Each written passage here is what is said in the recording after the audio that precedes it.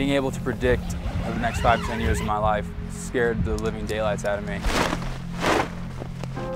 I was literally one thoughtless decision away from living this life that I wanted no part of.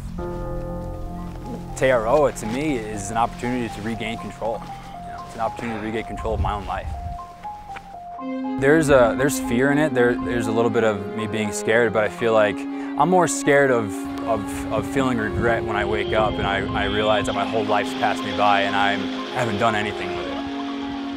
I, and I ask myself that question, what do you want to do? And I still don't know, you know, what do I want to do? I want to be free. I want to be able to see the world, you know? How cliche is that, see the world? But that's exactly what I want to do. It's exactly what I want to do. And I want to, I want to do it in a way that I can inspire people to do the exact same thing and utilize their choice to be free.